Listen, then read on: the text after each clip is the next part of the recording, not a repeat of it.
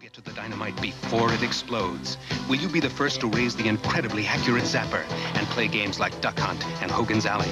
The first to build a library of game packs like Kung Fu, golf, even games like Excitebike that you program yourself? Will you be the first to get all this in one package?